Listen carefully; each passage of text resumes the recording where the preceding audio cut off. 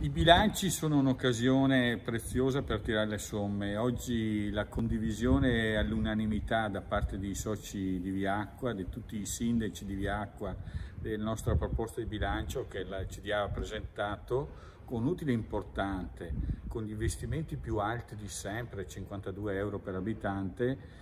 però il momento della verifica è sempre il momento della verifica e oggi è stata un'occasione bella perché ho sentito, oltre che l'approvazione unanime, anche una calda vicinanza alla nostra società da parte di tutti i sindaci.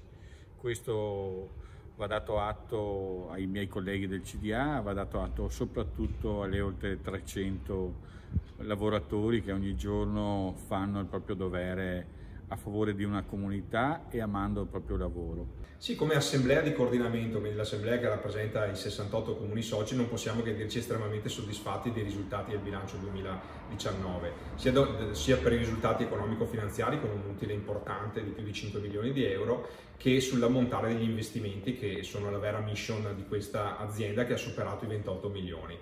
e si stanno vedendo quindi i risultati della fusione fatta due anni fa tra Acque Vicentine e AVS, le sinergie e le efficienze si stanno realizzando, gli indicatori di prestazione sono tutti estremamente positivi, quindi grande soddisfazione da parte dei sindaci, abbiamo il compito di esercitare il controllo analogo, lo abbiamo fatto con un lavoro intenso, con molte riunioni con il Consiglio di amministrazione. Gli obiettivi del 2020 sono ambiziosi, ma siamo molto fiduciosi sulla base di questi risultati di poterli conseguire agevolmente.